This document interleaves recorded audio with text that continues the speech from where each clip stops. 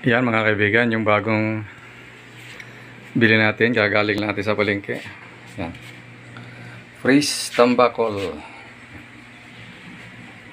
Apat na kilo, yung apat na piraso na yan.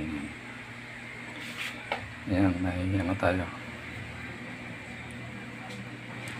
Yempo. Isang kilo rin yan. Slaughterhouse. Yan. Ano rin. Pork chop. Then, yan. May chicken tayo. Yan. May vegetables. Polyo. Yan. Malunggay. Sitaw. Halo-halo na yan dyan. May tanglad, sibuyas, kamatis, yung bawang, loya, nandyan na lahat yan. Okay? Pag namalingki tayo, marami tayong binibili. Dahil malayo sa atin ang palengke.